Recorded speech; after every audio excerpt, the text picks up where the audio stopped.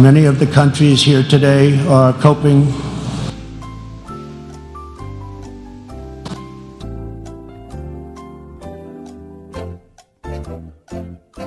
for the great cooperation we are receiving.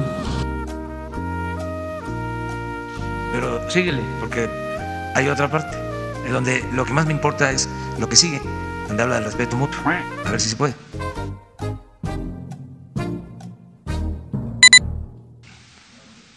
27 y por poner ahora 27 mil tropas en nuestra frontera sur. México nos ha estado mostrando un gran respeto and I respect them in y le respeto a sí mismo.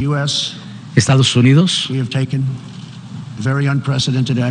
ha tomado acciones sin precedentes para frenar el flujo de immigration.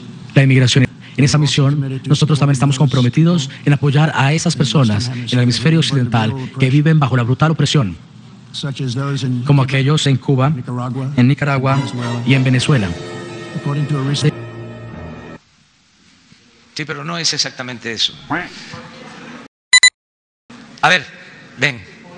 Y mientras, porque lo tenemos que ver, es lo primero más eh, otras frases. Sí, a ver. A ver, Mexico is showing us great respect, and I respect them in return. México está mostrando un gran respeto y nosotros mostramos respeto hacia ustedes también. eso es. Exacto.